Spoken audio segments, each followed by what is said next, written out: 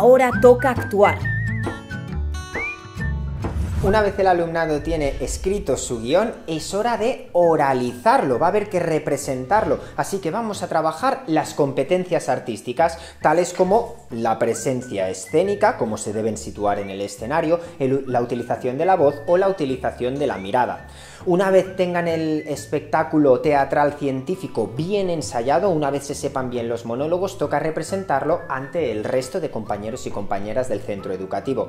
Para ello aconsejamos que se haga de la manera más profesional posible. Si se dispone de un auditorio o de un teatro, si se pueden poner focos, si se les puede poner micrófono, esto hace de la experiencia algo mucho más gratificante y constructivo para el alumnado.